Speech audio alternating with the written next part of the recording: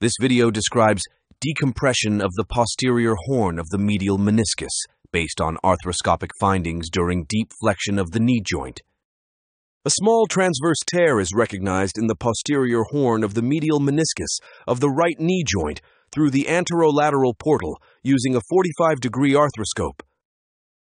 When the infrapatellar fat pad hinders arthroscopic examination of the posterior horn of the medial meniscus during deep flexion of the knee joint, the infrapatellar fat pad is partially resected using an arthroscopic shaver. The adduction deep flexion test with the knee joint internal rotated shows that the medial femoral condyle lifts off from the medial tibial plateau and the posterior horn of the medial meniscus emerges.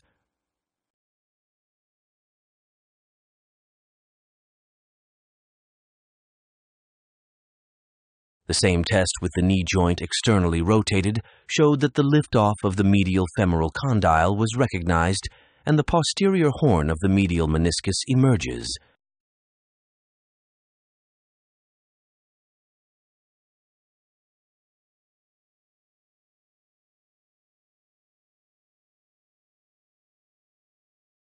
A partial meniscectomy of the tear site is performed.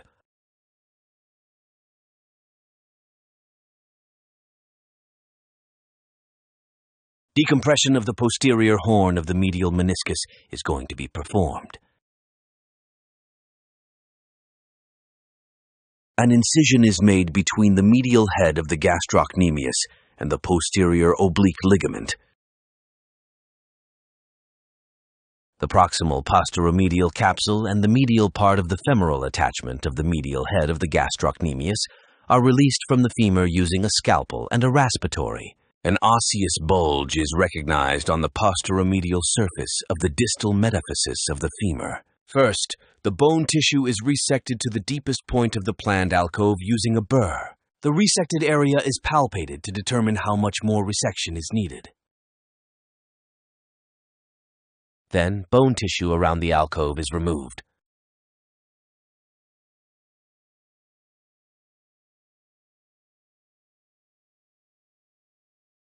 The surface of the excised bone tissue is smoothed using an electrical reciprocating rasp.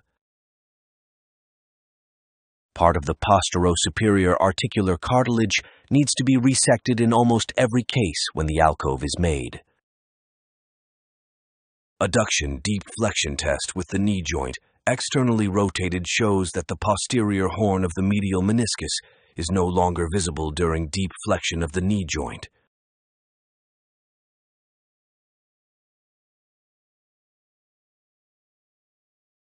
The test with the knee joint internally rotated also shows that the posterior horn is not seen during deep flexion. The capsule and medial head of the gastrocnemius is reattached to the original position. The incision then closed in layers. Thank you for watching our video.